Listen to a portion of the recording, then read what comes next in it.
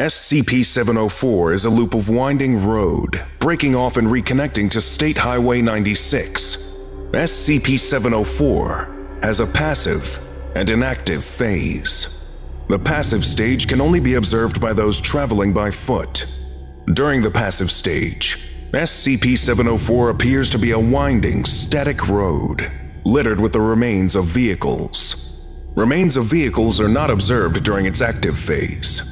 The exact topography and distance of the route remains constant between active periods. After an active period, topography and distance change to a new configuration. As the road becomes more challenging, the driver will begin to declare how much fun the road is and prod the passengers to watch his or her driving skills. Passengers show a uniform negative reaction to the road, exhibiting anxiety, paranoia, and fear.